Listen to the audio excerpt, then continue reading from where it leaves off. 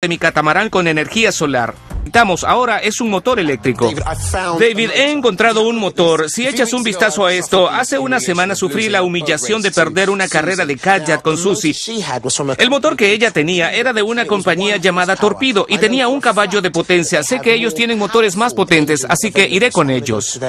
La idea de mi sistema de propulsión hombre catamarán también surgió de algunas pruebas anteriores, cuando le mostré a Bob un video del Power Surf FX, una tabla de surf propulsada por un motor impulsor que alcanza una velocidad de 40 kilómetros por hora. ¡Increíble! ¿Crees que si consigo uno de estos se puede incorporar el motor en el hombre catamarán? Sí, definitivamente podríamos ponerlo en él. Me encanta tu confianza, Bobby.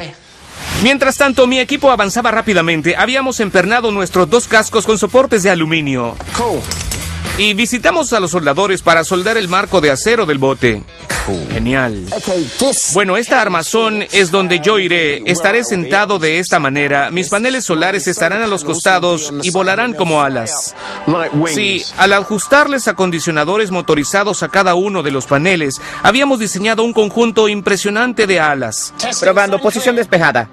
Se movió para absorber todos los rayos del sol. ¡Genial! ¿Pero terminaba allí?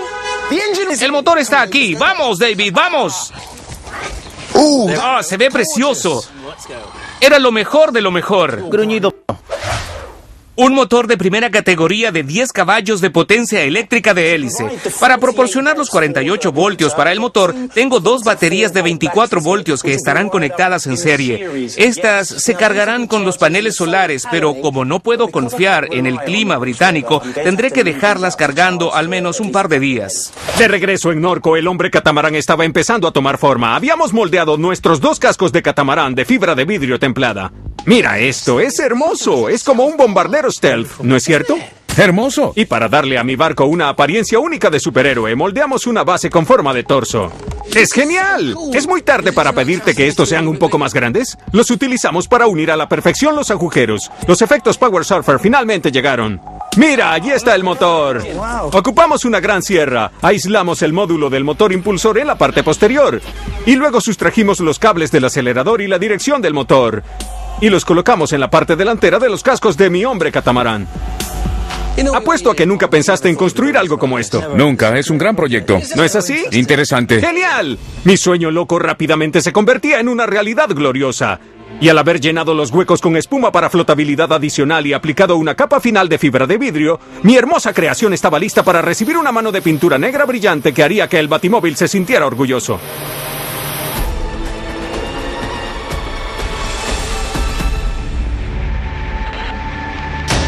Creo que el hombre catamarán está listo para la carrera. Estoy listo para la guerra. Pero la historia no termina ahí. Bueno, al menos no para mí, porque el día antes de la carrera recibí una noticia desastrosa. Bob y su equipo habían tomado al hombre catamarán para probarlo. E increíblemente chupó una piedra y el impulsor del motor se rompió y se arruinó por completo. No lo podía creer. La carrera era en tan solo 24 horas y no tenía ningún bote. Mis esperanzas de competir, ya no se diga de ganar, se desmoronaron. ¡Rayos!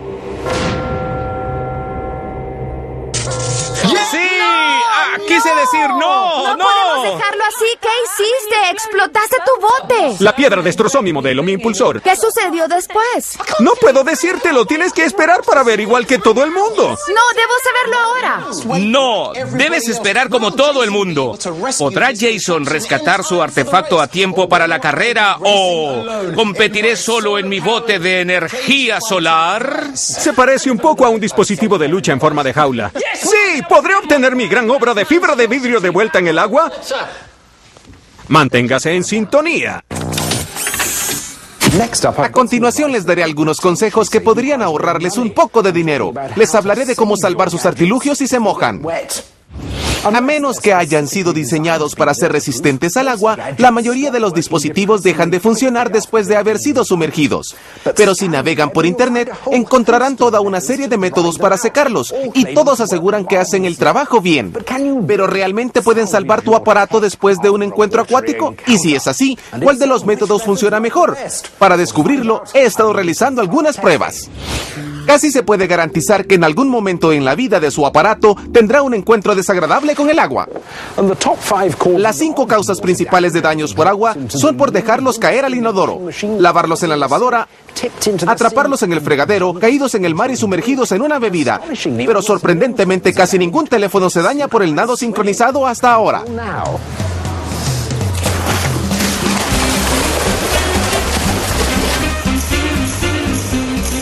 Le di al equipo de natación cuatro teléfonos móviles idénticos de prepago, todos en pleno funcionamiento y encendidos. La rutina debajo del agua duró cinco minutos, más que suficiente tiempo para darles a los teléfonos un buen remojón.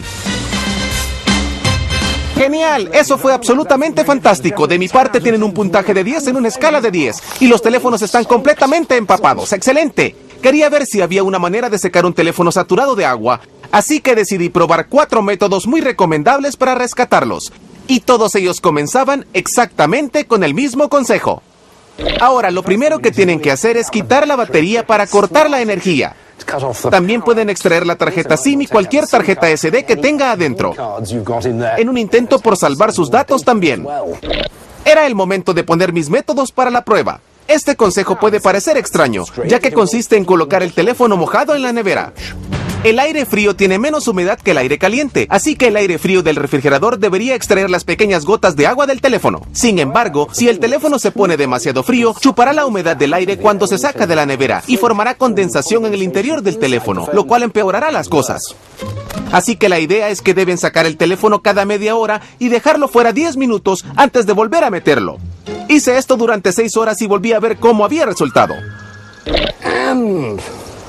¡Ay, no! Nada en absoluto. ¡Qué decepción! Esperemos que tenga mejor suerte con el siguiente método. Mi siguiente consejo puede ser útil si han sumergido el teléfono en casa y tienen un poco de arroz sin cocinar a la mano. Tome el teléfono incluyendo la batería y colócalos en un recipiente lleno de arroz a la mitad. Yo usé arroz de grano corto ya que es más absorbente que el grano largo. Luego llene el resto del contenedor y déjelo allí durante 12 horas. En teoría, el arroz seco absorberá la humedad del teléfono. Deje el arroz durante la noche para darle tiempo que absorbiera el agua. ¿Funcionaría esta técnica? No hay signos de vida en absoluto, solo un ruido inútil. Esto realmente no funciona. Para el tercer método recurrí a la potencia de succión con la ayuda de una aspiradora. Voy a utilizar el accesorio de boquilla para intentar succionar el agua del teléfono. Aquí vamos. Seguí así durante 20 minutos, pasando la aspiradora en cada parte de la caja del teléfono, en un esfuerzo para sacar toda el agua. Tenemos luces. Algo sucede. No, no, no, no, no, no, no. Por un momento pensé que habíamos tenido un éxito, pero no. Así que me volqué a uno de los favoritos más antiguos. El método de lámpara de mesa. Coloquen las partes debajo de una lámpara y déjenlas allí durante 12 horas. Asegúrense que el foco esté a una distancia aproximada de 50 centímetros del teléfono para que no se derrita. Todas las bombillas de luz generan calor, aparte de la luz. Así que esto debería ser una buena forma delicada para evaporar la humedad de sus teléfonos. Como el método de arroz que había dejado durante la noche y regresé a revisar al día siguiente. Nada sucede en absoluto. No hay luces, ni sonido, ni nada. Reprobado. Otro fracaso. Y eso que el método de la lámpara de mesa había funcionado para mí en el pasado, pero aún no tenía nada. Cuatro teléfonos, cuatro métodos, cuatro desastres. No son resultados muy alentadores si tienes un teléfono mojado. Pero con el verdadero estilo del Gadget Show no dejé que el fracaso me detuviera. Conseguí cuatro nuevos teléfonos y los sumergí, pero solo durante un minuto esta vez. Hice las pruebas de nuevo. ¿Ayudaría a salvar mis teléfonos el hecho que los